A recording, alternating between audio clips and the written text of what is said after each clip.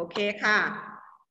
สำหรับวันนี้นะคะ student เราจะเรียนเกี่ยวกับเรื่องการคูณนะคะ multiplication นะคะ อยู่ในยูนิตเดิมนะคะ continue จากวีคที่แล้วนะ continue จากวีคที่แล้วนะคะ เกี่ยวกับเรื่องการคูณนะคะ แต่ในวันนี้นะคะจะเป็นการคูณนะคะ เกี่ยวกับเรื่องการคูณจำนวนที่มีสองหลักกับจำนวนที่มีมากกว่าสามหลักนั่นเองนะคะ จะเพิ่มความ different เอ่อแตกต่างจากครั้งที่แล้วขึ้นมานิดนึงนะคะ เอาล่ะไม่คืออยากรู้ว่ามันจะแบบเรามาเริ่มกันเลยนะคะ เพราะว่าลายมันอยู่ในนี้ไงอะมีคนเข้ามาใหม่เนาะ น่าจะมันลงไปไม่รู้อะ โอเคค่ะอะการคูณอันแรกนะคะ เป็นการคูณจำนวนสามหลักกับจำนวนที่มีเอ่อที่เป็นพหุคูณของสิบหรือของร้อยก็ได้พหุคูณของสิบของร้อยก็คืออะไรก็คือดูค่ะเจนดูลูกแอด powerpoint นะคะอ่าจะเห็นว่าการคูณจำนวนสามหลักนะคะ กับจำนวนที่เป็นพหุคูณของสิบก็คือ ตัวเลขสามหลักนะคะ ตัวเลขสามหลักในที่นี้ก็คือ 282 คูณกับ 50 ซึ่ง 50 เป็นเลขหลักสิบเนาะจะสังเกตว่า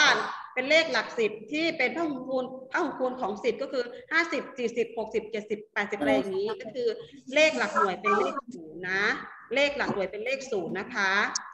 ตั้งใจฟังแล้วนะ เลขหลักหน่วยเป็นเลขศูนย์แบบนี้นะคะเขาเรียกว่าพหุคูณของสิบเวลาคูณจะสังเกตว่าใน example ที่เชื่อเปี้ยวให้ไปนะคะ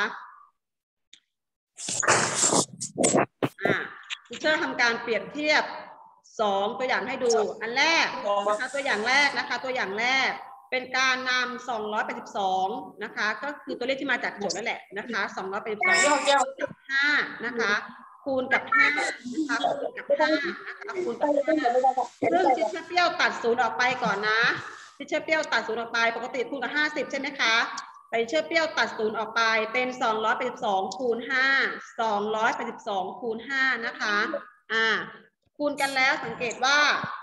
นะคะ คิดตามนะคะจะเด่น you think นะคะ you calculate เอ่อ calculate ตามเชื่อเปรี้ยวไปนะคะ5คูณ2นะคะได้10นะคะ5คูณ2ได้10ก็ใส่ศูนย์ทด1ไว้เนาะแล้วก็5คูณ8ตามปกตินะลูกนะ เอา5คูณ8ได้เท่าไหร่คะ ห้าคูณแปดได้สี่สิบใช่ไหมคะอ่าแล้วทดหนึ่งเมื่อกี้เป็นสี่สิบเอ็ดก็ใส่หนึ่งนะคะแล้วทดสี่บนหลักบนเลขสองเนาะแล้วเอาห้าคูณสองห้าคูณสองก็ได้สิบทดสี่เป็นสิบสี่ก็ได้คำตอบเป็นหนึ่งพันสี่ร้อยสิบใช่ไหมคะอ่าแต่ตามโจทย์ของเรา ตัวที่เอามาคูณนั้นนะคะพหุคูณมันเป็นห้าสิบไม่ใช่ห้าใช่ไหมคะอ่าแต่พอลองเอาเปรียบเทียบกับด้านนี้ อ่าเอาตามที่โจทย์บอกเลยเป็น 282คูณ50 นะคะ282 282คูณ50 ใช่ไหมลูก พอคูณกันแล้วสังเกตว่านะคะ สังเกตว่าผลคูณที่ได้ ผลคูณที่ได้มันเป็นเท่าไหร่คะ14,100ใช่ไหม student ซึ่งมันคล้ายๆกับตัวอย่างแรก ตัวอย่างแรกแค่เป็น5แต่ไม่มีศูนย์นะคะ แต่ตัวที่สองเป็นห้าสิบแต่คำตอบคล้ายๆกันเพียงแค่เพิ่มศูนย์มาหนึ่งตัว จากหนึ่งพันสี่ร้อยสิบเป็นหนึ่งหมื่นสี่พันหนึ่งร้อยก็คือเพิ่มศูนย์ขึ้นมา ในเลขหลักในเลขท้ายอีกหนึ่งตัวแค่นั้นเองใช่ไหมคะอ่าแต่ผลคูณข้างหน้าเหมือนกันเลย เป็นหนึ่งสี่หนึ่งศูนย์เหมือนกันนะคะ เพียงแค่เพิ่มศูนย์มาหนึ่งตัว ใช่ไหมคะ student อ่า งั้นมันก็ง่ายต่อการคำนวณของเรา งั้นเวลา student ทำนะคะ student เนี่ยทำง่ายๆก็คือ เอา200เป็น2คูณ5เฉยคูณ5เฉยๆก็ได้นะคะ เอา200เป็น2คูณ5ก่อน พอคูณเสร็จแล้ว ค่อยเอาศูนย์ที่อยู่ในโจทย์เนี่ยมาเติมมาเติมเข้าไปทีหลังก็ได้นะคะก็ได้คำตอบเท่ากัน เดี๋ยวเชฟเปียวจะแสดงให้ดูในตัวอย่างถัดไปนะคะอะมาดูข้อที่สองนะคะ ข้อที่สองนะคะ อ่านะคะ492นะคะ time with 30 นะคะ492 time with 30 นะคะ 492 คูณ 30 นะคะ 492 คูณ 30 อ่า เหมือนเดิม อันแรกเชื่อเปรี้ยวตัดศูนย์ออกไปนะคะ ดูตรงวิธีการทำนะคะ เชื่อเปรี้ยวตัดศูนย์ออก เอาแค่ 492 คูณ 3 นะคะ เอาศูนย์ออกไปก่อนนะคะ อ่า คูณออกมาแล้ว ได้1,476 ซึ่งมาซึ่งมาเอามาเปรียบเทียบกับด้านขวามือตรงนี้นะคะ เป็น492คูณ30 ก็คือเพิ่มศูนย์เข้ามาตามโจทย์คำตอบก็เป็น 14,760 เห็นไหมคะ student เพียงแค่เติมศูนย์เข้าไป 1 ตัว ก็คือตามโจทย์มีศูนย์แค่ 1 ตัว เติมศูนย์เข้าไป 1 ตัวคำตอบก็อยู่ใกล้เคียงกันเลยนะคะคำตอบก็อยู่ใกล้เคียงกันเลยใช่ไหมคะ student อ่าเล่นฟังก่อนนะคะ อย่าเพิ่งลอกเดี๋ยวจบคลิปนี้ teacher เปรี้ยวจะให้ student เนี่ยก๊อปปี้นะคะได้ก๊อปปี้ตัวอย่าง teacher เปรี้ยวส่งไปนะคะลิส t นก่อนนะอะที่เชอเปียวอธิบายนะคะ อาจจะยังไม่เก็ตพออาจจะยูแคนนั understand นะคะ เดี๋ยวเชอเปียวจะพาไปดูตัวอย่างแบบว่าได้ลงมือทำเลยเนาะ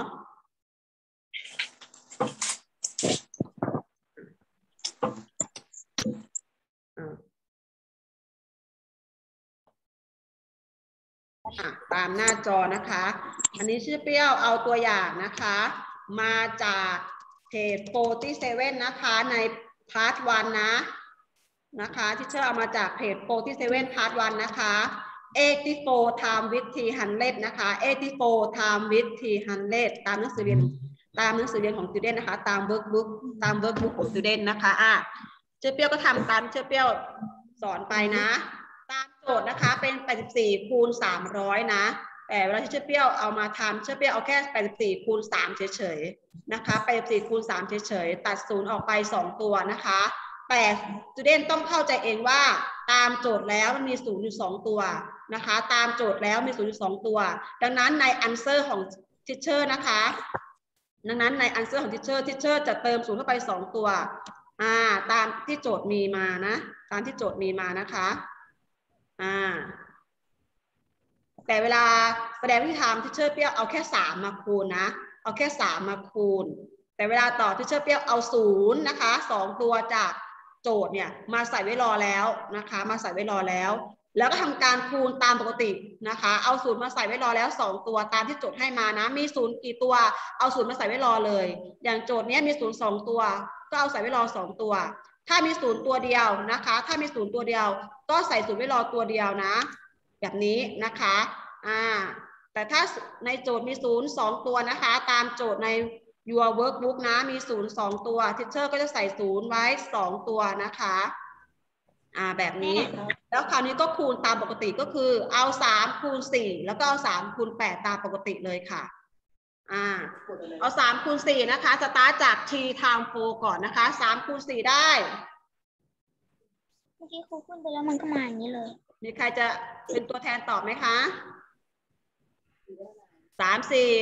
สิบสองใช่ไหมคะอ่าสามสี่สิบสองแล้วก็ใส่สองนะคะ ใส่สองเนาะ เปิดใหม่อ่าขึ้นไปแล้วปกติแล้วทดหนึ่งไว้ตรงเลขแปดใช่ไหมคะ ทดหนึ่งไว้ตรงเลขแปดนะ อ่าสามสี่สิบสองนะคะ สามคูณสี่ได้สิบสองนะคะ ทดหนึ่งไว้ตรงเลขแปดเอาสองมาใส่ตรงคำตอบนะสามแปดต่อไปก็เอาสามคูณแปดนะคะทีทามเอได้เท่าไหร่คะ ไม่ต้องไปไม่ต้องไปท่องแม่สามนะ ท่องแม่แปดก็ได้นะคะแปดคูณสามหรือสามคูณแปดเหมือนกันนะคะแปดหนึ่งแปดแปดสองสิบหกแปดสามยี่สิบสี่ใช่ไหมคะอ่าแต่อย่าลืมตัวทดหนึ่งเมื่อกี้นะ ก็เป็นยี่สิบห้าใช่ไหมคะส t ูเดนอ่า ทันไหมคะใส่ประมาณนิดนึงแม่มาดูเองอ่าได้แล้วนะคะได้แล้วยี่สิบแปดสิบสามสองเป็นสองหมื่นห้าพันสองร้อยนะคะ25,200นะคะอ่าได้คำตอบนะคะตามที่เราต้องการโอเค ภาษาแล้วก็สลับอันนี้เป็นตัวอย่างนะคะอะต่อไปเชื่อเปี้ยวไม่รอช้านะที่เชื่อไป หน้าถัดไปนะคะ เป็นเศษโปรตีเอกนะคะ เกี่ยวกับการแสดงหาวิธีผลคูณของจำนวนที่มีสามหลักกับจำนวนสองหลักนะคะผิวเออไม่ใช่คนก็จะยากขึ้นมานิดนึงนะคะ เป็นการคูณจำนวนที่มีหลายหลักนะคะ เป็นการคูณที่มีจำนวนหลายหลัก นะคะ แต่ไม่ยากเกินความสามารถของ student หรอกนะคะอะตัวอย่างนี้นะคะเป็นการคูณจำนวนที่มี 3 หลัก กับจำนวนที่มี 3 หลักด้วยกัน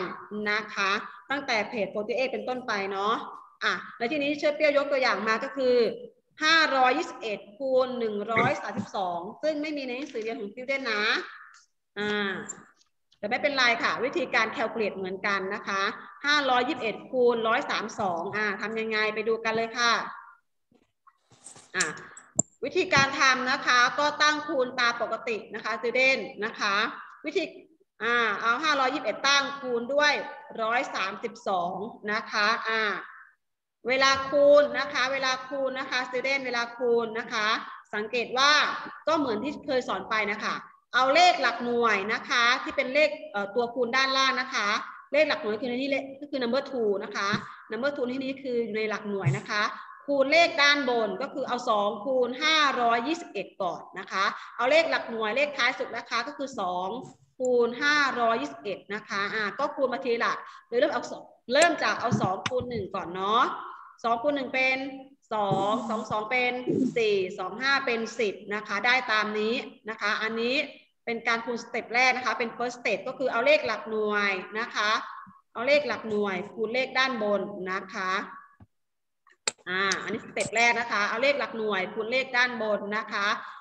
อ่า คูณเสร็จแล้วอย่าลืมนะคะ เขียนเลขให้ตรงหลักเนาะสองคูณหนึ่งเป็นสองคำตอบแรกก็ตรงกับเลขหลักก็เลขหลักหน่วยเลยนะคะคำตอบแรกนะคะ ตรงกับเลขหลักหน่วยเลย เรียงตัวเลขมาให้ตรงหลักนะคะ อ่า ต่อไป เมื่อกี้เราเอาสองคูณเอาสองนะคะ คูณกับเลขตัวตั้งนะคะ เสร็จแล้วต่อไปก็เอานะคะ เอาสามนะคะ ต่อไปเป็นสามนะคะ ต่อไปเป็นสามนะคะสามเป็นเลขหลักสิบนะคะ คูณกับห้าร้อยยิบเอ็ดบ้างนะคะ อ่า คูณกันมาแล้วนะคะสตูเดนนะคะ ไม่ขีดเขียนหน้าจอนะคะ อ่า คูณกันมาแล้วนะคะ ได้เท่าไหร่ เวลาคูณเมื่อกี้เป็นเลขหลักหน่วยเนาะ เมื่อกี้เอาสองคูณห้าร้อยิบเอ็ดได้หนึ่งพันสี่สิบสองใช่ไหมคะสตูเดน แต่คราวนี้นะคะ แต่คราวนี้เปลี่ยนใหม่เป็นเลขหลักสิบค่ะ เป็นสามนะคะสามคูณห้าร้อยิบเอ็ดนะคะพอคูณกันมาคำตอบแรกนะคะ เราเอาสามคูณหนึ่งได้สามนะคำตอบแรกเราเอาสามคูณหนึ่งแล้วได้สามจะสังเกตว่าสามเราต้องเขียนให้ตรงกับเลขหลักสิบนะคะ เพราะตัวคูณของเราคือสามซึ่งเป็นเลขหลักสิบเอาสามนะคะคูณหนึ่งได้สามเอาสามมาเขียนให้ตรงเลขหลักสิบส่วนเลขหลักหน่วยใส่ศูนย์เอาไว้นะคะ เลขหลักหน่วยใส่ศูนย์เอาไว้เนาะเลขหลักหน่วยใส่ศูนย์เอาไว้แบบนี้นะคะ อ่า เลขหลักหน่วยใส่ศูนย์เอาไว้แบบนี้เนาะอ่า เอาสามคูณหนึ่งได้สามสามที่เป็นผลลัพธ์ตัวแรกใส่ให้ตรงกับเลขหลักสิบซึ่งเป็นตัวคูณนะคะ อ่า ต่อไปก็เอาสามคูณสองสามคูณสองได้หกก็ใส่หกขยับมาข้างหน้านะคะ หน้าเลขสามต่อไปก็เอาสามคูณห้าสามห้าสิบห้าก็ใส่ห้าด้านหน้าแบบนี้นะคะ อ่า โชคดีไปเนาะการคูณตัวนี้ไม่มีการทดอ่าต่อไปถ้าเอาสามคูณห้าร้อยยี่สิบเอ็ดแล้วนะคะ ได้หนึ่งหมื่นห้าพันหกร้อยสามสิบก็ยังไม่จบเท่านี้นะคะ not finish เพราะตัวคูณของเรานะคะ ยังไม่จบแค่นี้นะคะ ตัวคูณของเรายังมีหนึ่งอีกใช่ไหมคะงั้นต่อไปเราก็เอาหนึ่งคูณห้าร้อยยี่สิบเอ็ดบ้างนะคะอ่าเอาหนึ่งคูณห้าร้อยยี่สิบเอ็ดบ้างนะคะ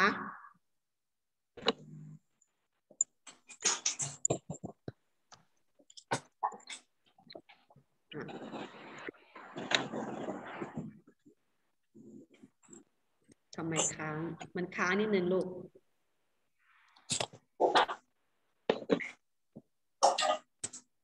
เกิดอะไรขึ้นโน้ตบุ๊กเปรี้ยวค้าง ต้องเลยอะเกิดแล้วเอ้ยแล้ว มันค้างลูกโน้ตบุ๊กมันค้าง นี่คือข้อเสียของการสอนออนไลน์แหละบางทีเน็ตมันช้ามันก็ค้างหรือบางทีคอมไม่ดีมันก็ค้างอะลูกแม่จะได้มาตามสอนทีหลัง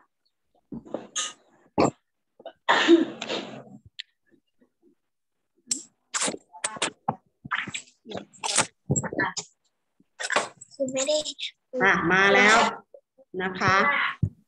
อ่า เมื่อกี้เอาสามคูณห้าร้อยิบเอ็ดเนาะ ได้หนึ่งหมื่นห้าพันหกร้อยสามสิบไปนะคะ เอาหนึ่งค่ะ อ่า เอาหนึ่งคูณห้าร้อยยิบเอ็ดขยับมาเป็นเลขหลักร้อยเนาะ เมื่อกี้เป็นเลขหลักสิบก็คือสามคูณห้าร้อยยิบเอ็ดต่อมาเป็นเลขหลักร้อย เอาหนึ่งคูณห้าร้อยิบเอ็ดมา อันนี้ easy เนาะ การคูณก็เหมือนเดิม ก็คือเอาหนึ่งที่เป็นตัวคูณนะคะเลิกไปคูณเลขด้านบนไปคูณตัวตั้ง โดยเริ่มจากหลักหน่วยก่อน ก็เป็นหนึ่งคูณหนึ่งได้หนึ่ง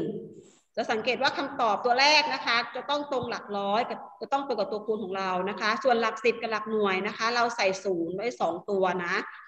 อย่าเพิ่เอาหนึ่งซึ่งเป็นผลคูณตัวแรกเนี่ยมาใส่ให้ตรงกับหลักหน่วยนะ ผิดนะจ๊ะผิดนะคะ อ่าตัวคูณของเราอยู่หลักไหนคำตอบแรกต้องตรงกับหลักนั้นนะ ตัวคูณของเราอยู่หลักสิบเอ้ยหลักร้อยคำตอบแรกก็ต้องตรงกับหลักร้อยแบบนี้นะคะอ่าหนึ่งคูณหนึ่งนะคะได้หนึ่งแบบนี้อ่าต่อไปก็เป็นหนึ่งคูณสองนะคะได้สองก็เป็นต่อไปก็เป็นวันไทม์ไฟนะคะได้ห้าแบบนี้อ่าพอคูณกันเสร็จแล้วสังเกตว่าตัวคูณด้านล่างหมดแล้ว การคูณจะจบสิ้นก็ต่อเมื่อตัวคูณด้านล่างหมดแล้วนะคะ คูณจนถึงหลักสุดท้ายก็คือหลักที่มีค่ามากที่สุดก็ที่นี่คือหลักร้อยพอคูณเสร็จแล้วก็จบแค่นี้นะคะ แต่ผลลัพธ์ของเรายังไม่สิ้นสุดนะคะ ผลลัพธ์ของเรายังไม่สิ้นสุด ผลลัพธ์ของของเรานะคะ ต้องเอามาบวกกันนะคะ ต้องเอาผลลัพธ์ผลคูณทั้งสามตัวนี้นะคะสามสามแถวนี้นะคะ มาแอดกันนะคะ มาแอดกันอ่ามาบวกกันนะคะ มาบวกกันก็คือเอาหนึ่งพันสี่สิบสองนะคะบวกหนึ่งหมื่นห้าพันหกร้อยสามสิบบวก ห้าหมื่นสองพันหนึ่งร้อยนะคะ อ่า บวกกันมาได้เท่าไหร่นะคะ ก็บวกเทียหลักนะคะ อ่า ได้คำตอบมาแล้วนะคะ อ่า เอาเลขผลคูณทั้งสามตัวนี้มาบวกกันนะคะ เป็นผลคูณรวมทั้งหมดนะคะ นะคะ ได้ตามนี้เลยนะคะ68 700 and 72นะคะ 68,772 เนาะ อ่า จบแล้วนะคะสำหรับการคูณตัวเลขนะคะที่จริงที่มีจำนวนมากกว่า 3 หลักคูณกัน ง่าย ๆ นะคะส t เดนไม่ยากเนาะ